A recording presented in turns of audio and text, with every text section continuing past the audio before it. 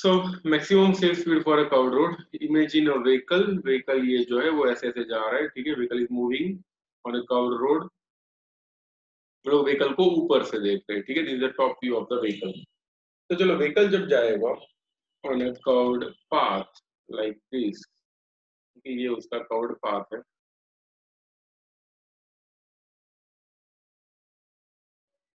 Circular ही बोल सकते हैं। इन दैट केस ये व्हीकल पे जो सेंट्रीपिटल फोर्स लगेगा, अंदर की तरफ़ जो लग रहा होता है, ठीक है? एज ए रिज़ल्ट उसके ऊपर एक सूडो फोर्स लगेगा बाहर की तरफ़। As a result vehicle have a tendency to move in outward direction ये वाला फोर्स कितना होगा? It will be M V square by R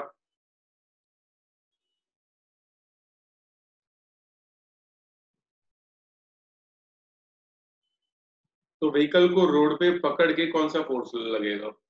बताओ। Which force grips the vehicle on the road MV square by R तो बाहर की तरफ़ लग रहा है। उसको रोड पे पकड़ के कौन सा फोर्स रख रहा है? बताओ जल्दी से।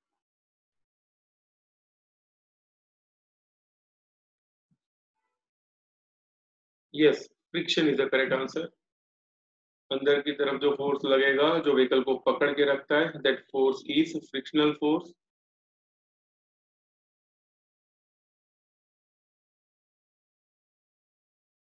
अंदर की तरफ़ जो फोर्स लग रहा है दैट इज़ एफ़ एफ़ यानी फ्रिक्शनल फोर्स ओके सो ये वाले केस में हम लोग बोल सकते हैं। देखो, ये व्हीकल को अगर हम लोग यहाँ से देखें if you look from this position यानी आप लोग मान लो इधर खड़े हो you are standing at this position यहाँ से खड़े होके अगर आप लोग व्हीकल को देखते हो okay then you will be able to see that this is the road ध्यान देना, ये यहाँ पे रोड है।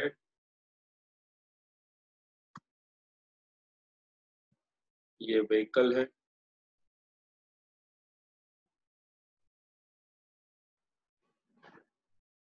व्हीकल के टायर्स देखो, सामने से या पीछे से अगर व्हीकल को दिखते हैं तो व्हीकल के जो टायर्स होंगे they look rectangular in shape ठीक है? सर्कुलर हमको नहीं दिखाई देंगे बिकॉज़ हम लोग पीछे से देख रहे हैं। तो आप लोग यहाँ से देख रहे हो, यहाँ से व्हीकल को देखा तो आपको कुछ ऐसा दिखाई दे रहा है, ये वाला। दिस कंडीशन जो फोर्स नीचे की तरफ़ लग रहा होगा व्हीकल पे टूवर्ड्स डाउनवर्ड्स नीचे की तरफ़ जो फोर्स लगेगा, वो फोर्स कौन सा होता है? Always it is M G तो नीचे की तरफ़ फोर्स लगेगा दैट इज़ एम जी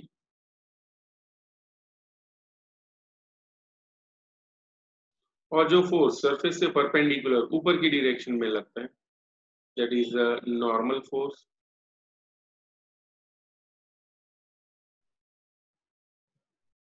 ये वाला is a normal force. So from this diagram, we can say N is equal to mg.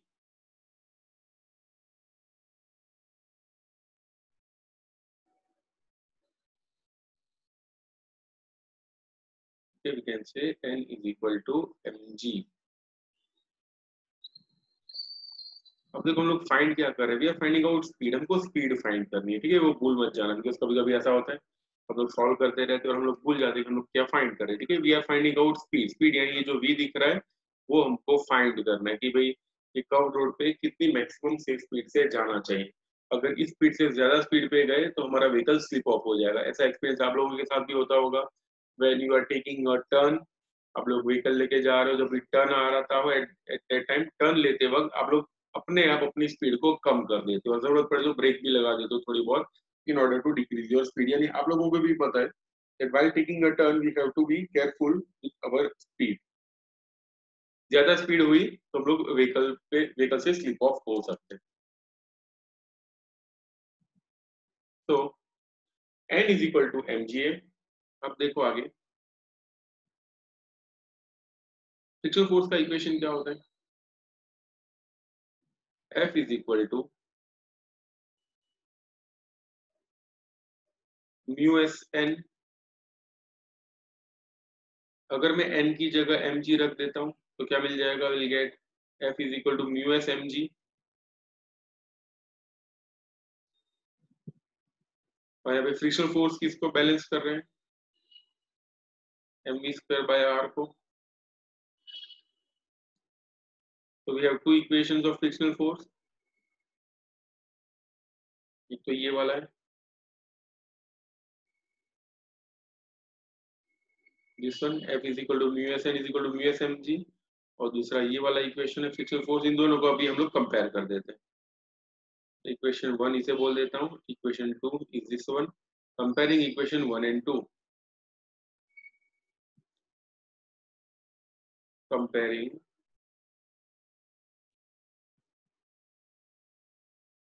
one and two यानी आपको तो पूरा लिखना है comparing equation one and equation two we get the following equation ऐसा करके क्या मिलेगा? M V square by R is equal to mu S M G M M cut हो जाएगा। वी स्क्वायर की वैल्यू क्या होगी? It will be mu S R G जगह कम है, इसलिए मैं इसको थोड़ा कॉम्प्रेस कर देता हूँ।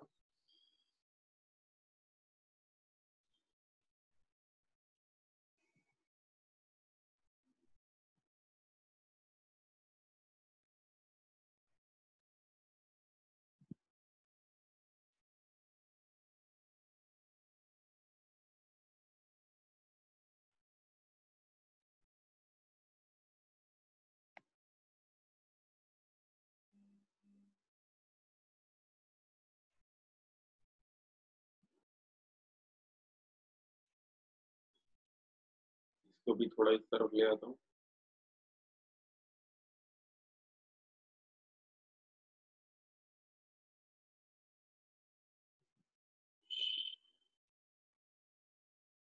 कॉम्प्रेस कर देते हैं।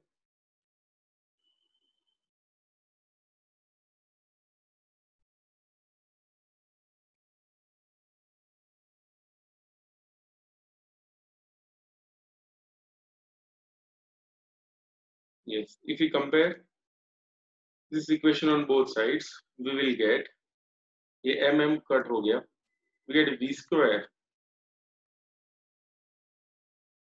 is equal to mu s r g तो v का इक्वेशन हो जाएगा root of mu S R G or we can write v max maximum safe speed in case of a curved road is root of mu s r g. ठीक है, इस speed से ज़्यादा speed पे गए तो हमारा व्हीकल पूरा स्लिप ऑफ़ हो जाएगा। ठीक है? तो यहाँ तक लिखो I am giving you two minutes draw भी करना है और लिखना भी है।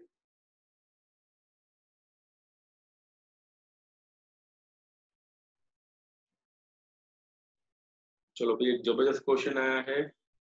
कि काइनेटिक फ्रिक्शन क्यों नहीं होगा?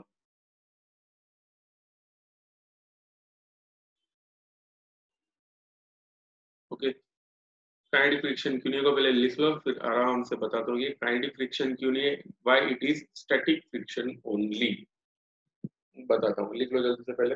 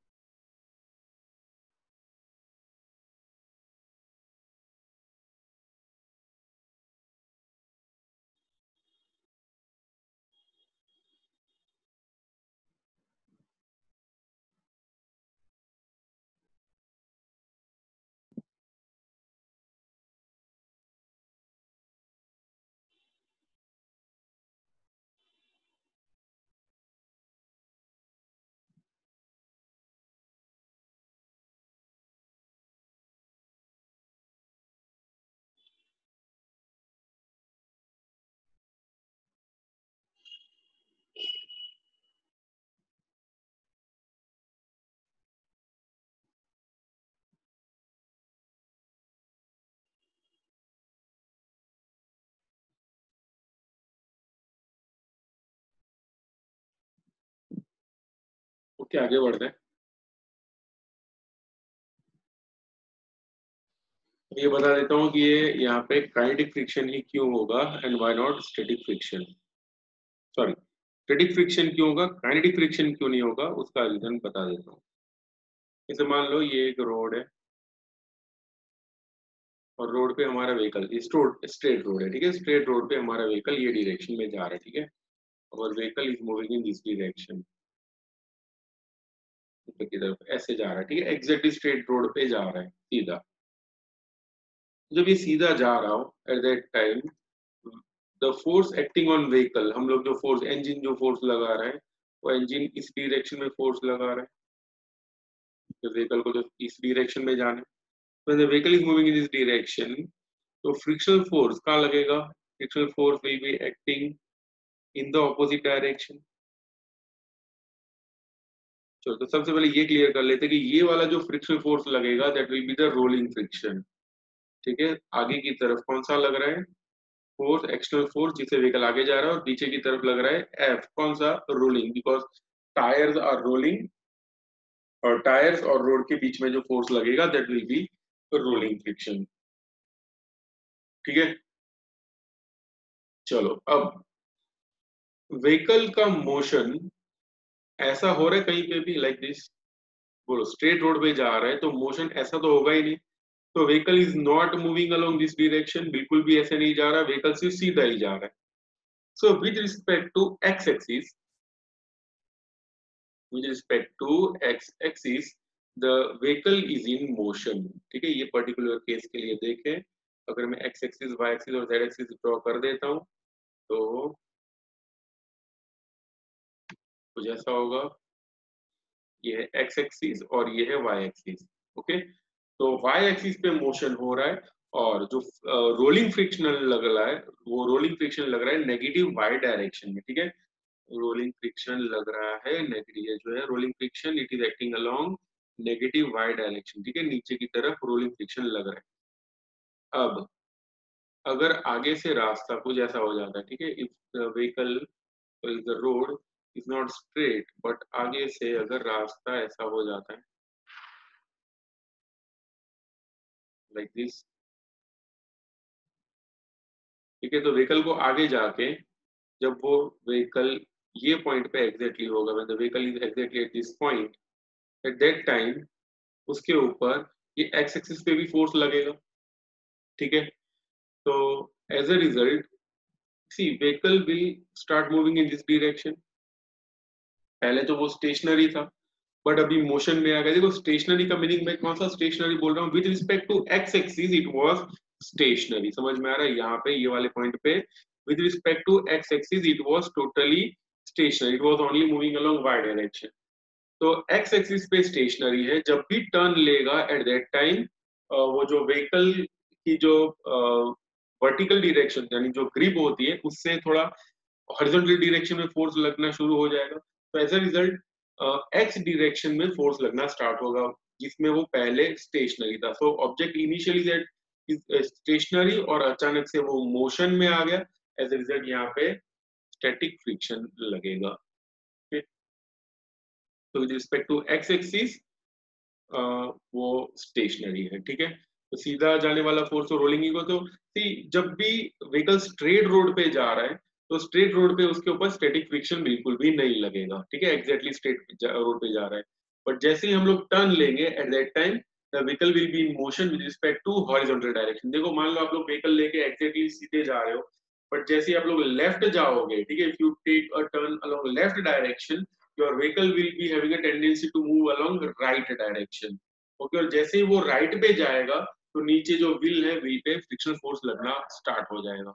इसीलिए जो टायर्स होते हैं टायर्स की ग्रिप अगर आप लोग ध्यान से देखो, टायर्स का काम क्या है, आगे तो ले ही जाना है टायर को तो बट व्हीकल की स्टेबिलिटी के लिए, यानी वो हॉरिजॉन्टल डायरेक्शन में मोशन ना करे ज़्यादा, इसीलिए कोई भी व्हीकल के आगे के टायर्स देखना, आगे के टायर्स में ग्रिप हमेशा कुछ ऐसी टाइप की होती है। ठीक है लाइक दिस या कभी कभी स्ट्रेट भी होगी। ठीक है, ऐसी ग्रिप होती है जनरली या फिर ऐसी ग्रिप होती है। स्ट्रेट एकदम। ये इस टाइप की ग्रिप होती है। ओके कभी भी टायर में ऐसी वाली ग्रिप नहीं होगी। यानी जैसे टायर है, देखो टायर रेक्टेंगुलर सामने से देख तो दिखाई देगा। ठीक है? We are seeing watching the front view of a tyre okay कभी भी टायर में ऐसी ग्रिप नहीं होगी। ओके ये वाली ग्रिप कुछ काम की नहीं है। एक और डायग्राम ड्रॉ करके बताता हूँ। मान लो कोई व्हीकल लेके हमारी तरफ़ आ रहे है।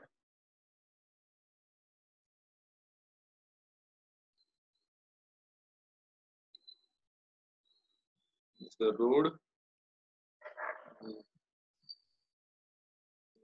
tire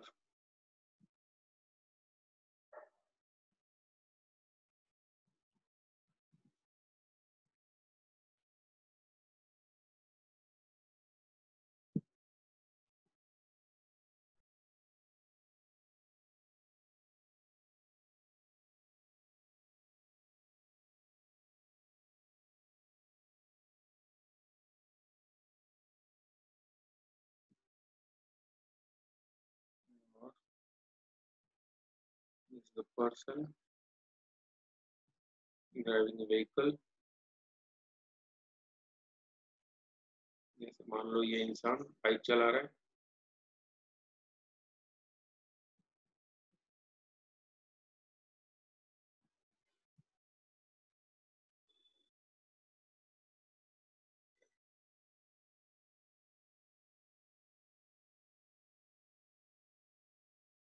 ठीक है तो जब ये इंसान बाइक को चला रहा हो, यानी बाइक हमारी तरफ़ आ रही है ओके एट दैट टाइम ये जो टायर्स होंगे टायर्स की ग्रिप अगर ऐसी हुई तो प्रॉब्लम क्या होगा? व्हेन द व्हीकल जब ये टर्न लेगा, ठीक है टर्न लेते वक्त ये थोड़ा बहुत टिल्ट भी हो सकता है। जब मान लो ये आगे से आगे राइट हैंड साइड टर्न ले रहा है तो इसके ऊपर फोर्स लगेगा ये डिरेक्शन में। तो ये जो ग्रिप है, उसको ज़्यादा काम नहीं आएगी।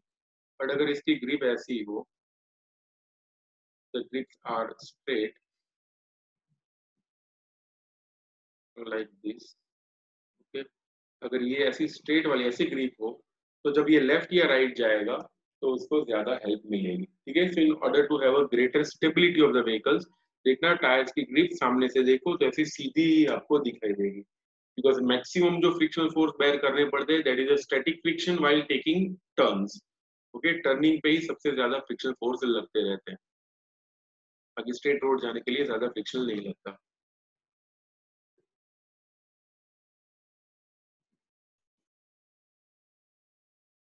ओके, जो स्पोर्स जैसा हमको दिखाई देता है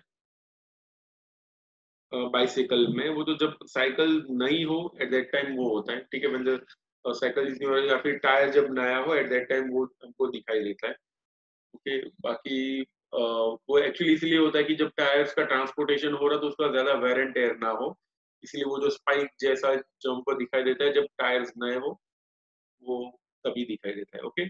और साइकिल का एक और भी ऐसा है कि भाई साइकिल ऑफ़ रोडिंग में ज़्यादा यूज़ होता है। तो एज ए रिज़ल्ट वो ज़्यादा फ्रिक्शन बेयर कर बिकॉज़ उसको अगर मान लो हिल पे अगर ले जाना हो ओके तो एट दैट टाइम उसमें ग्रिप ऐसी स्ट्रेट नहीं होगी।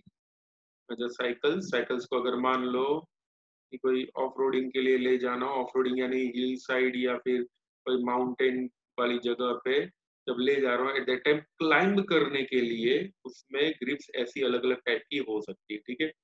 तो साइकिल के अंदर ग्रिप आगे या पीछे कुछ अलग टाइप की हो सकती है। Because they are for off roading generally but ये जो कार्स होती है, उसमें जनरली ग्रिप ये वाली होती है लाइक दिस स्ट्रेट वाली। फिर अगर स्पोर्ट्स कार्स देखो तो आपको अलग टाइप की दिख सकती है। स्पोर्ट्स कार्स यानी the cars which are for off roading ठीक है? ऑफ़ रोडिंग वाली कार में ही हमको अलग अलग टाइप की ग्रिप देखने को मिल सकती है। चलो भाई, आगे देखते हैं। तो ये इक्वेशन हम लोगों ने डिराइव कर लिया। V max is equal to root of mu S R G अब ये देखते हैं कि ये पता है ना, जैसे आप व्हीकल लेके जा रहे हो या फिर कहीं हाईवे पे जा रहे हो and if you are sitting inside the car और तब आपको एक ऐसा बोर्ड कहीं कहीं पे देखने को मिलता है। जैसे यहाँ पे ऐसा बोर्ड लगा होता है ऐसा। और यहाँ पे लिखा होता है जैसे 50 तो मीनिंग क्या होता है कि वो वाले रोड पे हमको 50 किलोमीटर पर आवर की स्पीड से ज़्यादा नहीं जाना चाहिए। बिकॉज़ जो इंजीनियर्स होते हैं, वो इंजीनियर से पहले से फिक्स किया होता है कि भाई चलो वी मैक्स की value V max it is maximum safe speed किस पे डिपेंड करता है? तो it depends on root of mu S R और जी म्यू एस क्या होता है? Coefficient of friction between road and tyres तो टायर का जो मटेरियल होता है, यानी सारे खास के जो टायर का मटेरियल होता है, वो जनरली रबर ही होता है. तो जो वर्स्ट का टायर हो वर्स्ट टायर यानी जिसमें कम से कम फ्रिक्शनल फोर्स लग रहा हो, वैसा वाला टायर और ये जो रोड है, उन दोनों के बीच में म्यूएस की वैल्यू लेबोरेटरी में पहले से फाइंड कर लेते हैं, ठीक है? They find out the value of mu S it is the coefficient of static friction जो हमेशा वन से कम होता है, ठीक है? Its value is always between from zero to one okay mu S की value it is unitless and dimensionless R क्या होता है? जिस जहाँ पे हम लोग टर्न ले रहे हैं, जैसे हमारा व्हीकल सीधा जा रहा हो ओके स्ट्रेट रोड हम लोगों ने यहाँ से ऐसे टर्न लिया। जब हम लोग टर्न लेंगे at that time although we are not moving on a circular track but फिर भी ये टर्न का कुछ रेडियस होगा। वो रेडियस कैसे डिसाइड होता है? तो ऐसे कुछ ये जो है इतना सा portion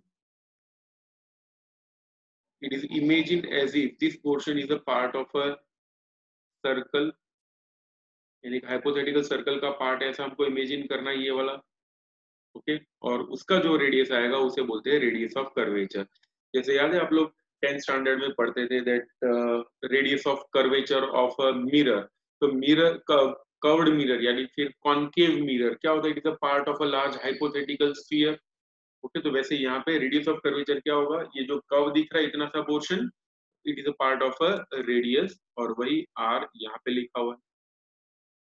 ये रहा आर और जी क्या होता है? G is the acceleration due to gravity वो हम लोग चेंज नहीं कर सकते।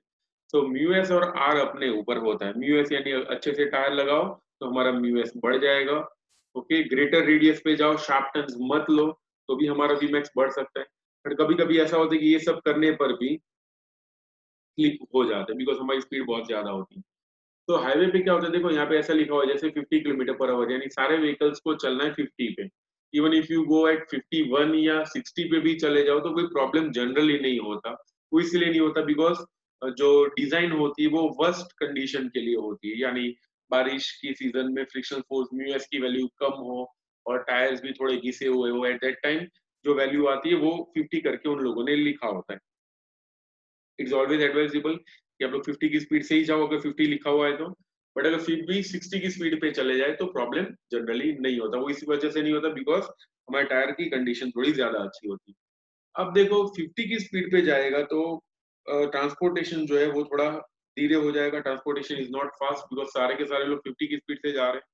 तो यही कवर्ड रोड पे अगर मुझे 50 की जगह आई वांट 100 ठीक है, मुझे मैक्सिमम से स्पीड को बढ़ाना हो कर्व को नहीं बढ़ा सकते, ठीक है, वैसे का वैसा ही रखना हो तो in that condition we can tilt the road ठीक है जो रोड दिख रहा है, कवर्ड रोड, उसको हम लोग थोड़ा बहुत टिल्ट कर सकते हैं। टिल्ट करने को बोलते हैं बैंकिंग ओके, क्या बोलते it is called banking of road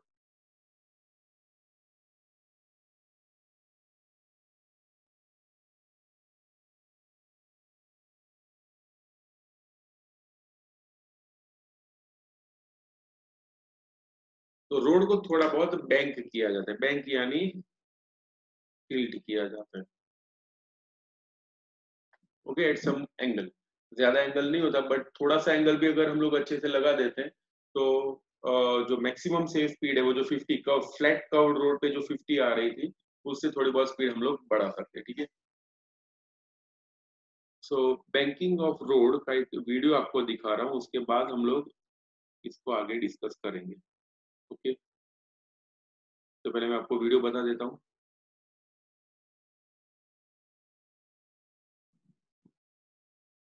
ये व्हीकल है। Vehicle is moving on a curved road banked curved road ये सभी हम लोगों ने वीडियो में देखा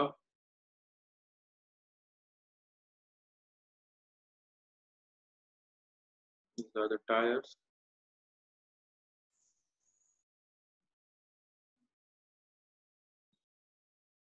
अच्छे से बनाते हैं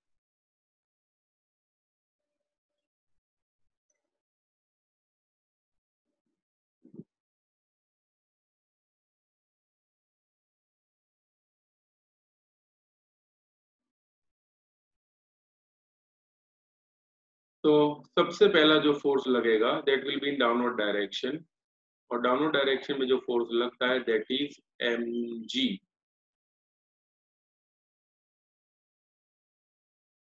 और बोल्ड करते हैं। नीचे की डायरेक्शन में फोर्स लग रहा है एम जी किसी को डाउट है यहाँ पे एम जी कैसे लगेगा? M G is a gravitational force वो हमेशा नीचे की डायरेक्शन में ही लगता है। Okay this is M G okay ये फोर्स तो क्लियर होगा। अब देखते हैं एम जी के दो components there are two components of M एक कंपोनेंट होगा ये डिरेक्शन में। और ये डायरेक्शन में जो कॉम्पोनेंट होगा that will be M G sine theta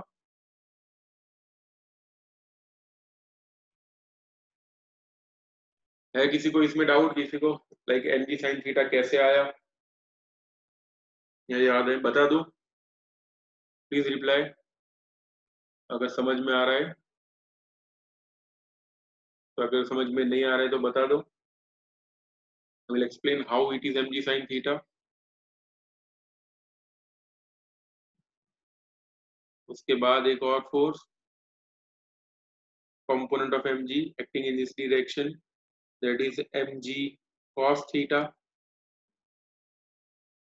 एक भी कंपोनेंट समझ में ना आए तो तुरंत बोल देना विदाउट एनी हेजिटेशन नहीं तो आप लोगों को ही लॉस होगा। It is this is M G cos theta okay अब देखो vehicle is moving on a curved road यानी ये जो रोड है एक्चुअली कर्व्ड है, यानी ऐसे कहीं से आ रहा है रोड ओके लाइक दिस और ये जो कर्व्ड रोड का रेडियस ऑफ़ कर्वेचर होगा, वो ऐसा कुछ होगा कि दिस इज़ ऐसा रोड इमेजिंग करते हैं आगे इन दैट केस ये यहाँ से ऐसा बनेगा सेंटर यहाँ पे कहीं पे होगा this will be the radius वो मैं यहाँ पे नहीं बता सकता। बट जो सेंट्रीपिटल फोर्स लगेगा that will be acting outwards actually वो सेंटर की तरफ़ लगता है बट मैं यहाँ पे ड्रॉ कर रहा हूँ, वो सूडो वाला है, ठीक है? Pseudo centripetal force is acting in this direction. Pseudo force due to centripetal force. This is mv square by r.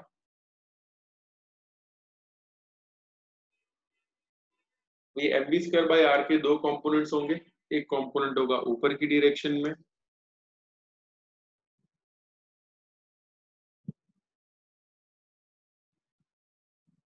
इसे बोलेंगे M V square by R cos theta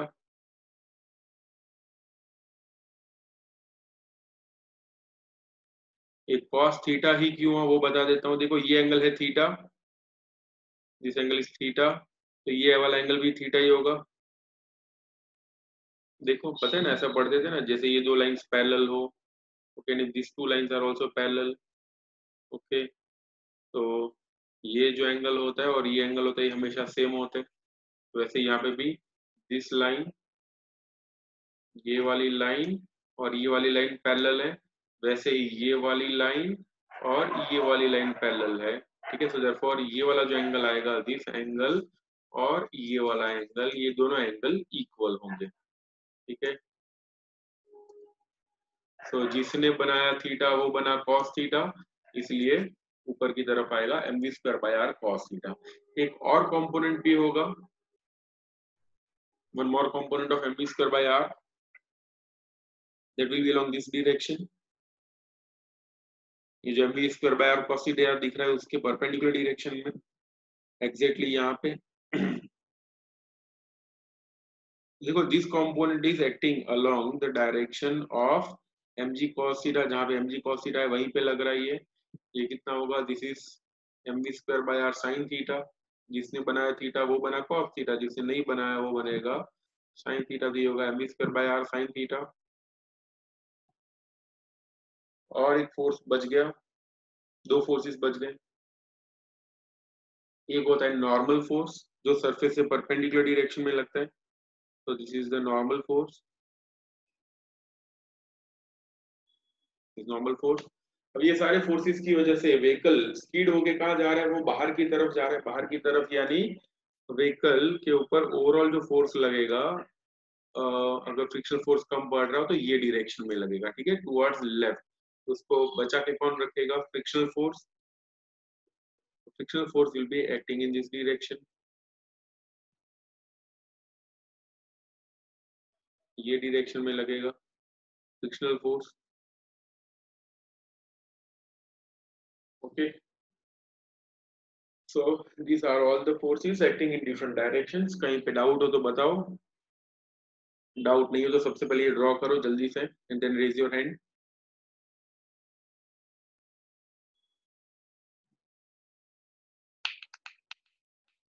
और घर पे आपको ये वाला जो दिख रहा है स्क्रीन पे फाइव टाइम्स करना है। ये आपके भले के लिए होमवर्क तो मैं चेक नहीं करने वाला बट आप लोग ड्रॉ करोगे प्रैक्टिस करोगे अच्छे से तो आगे की थियरीज में भी न्यूमेरिकल्स में भी और ये डेरिवेशन में भी काम आएगा this derivation is very important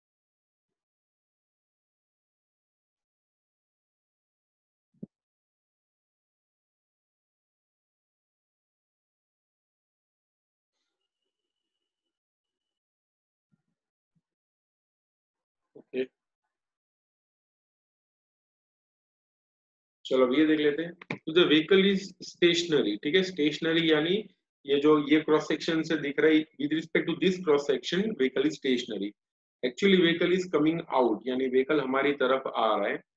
But with respect to this direction यानी वो यहाँ पे व्हीकल ऊपर की डिरेक्शन में भी नहीं जा रहा, या फिर नीचे भी नहीं जा रहा, ठीक है?